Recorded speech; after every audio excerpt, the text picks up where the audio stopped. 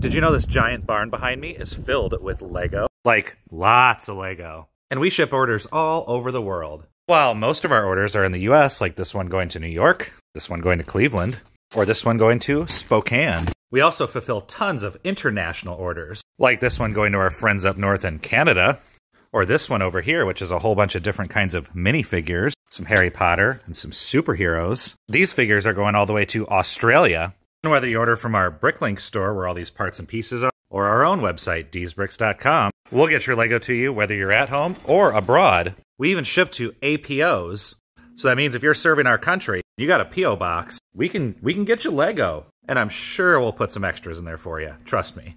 Basically, the Lego barn, we're kind of we're kind of like a plug, the plug for Lego. So, make sure to follow our page as we post daily Lego content, show you all the cool stuff that's going on here in the Lego barn. And definitely make sure to leave some comments and let us know what you'd like to see here in the Lego barn.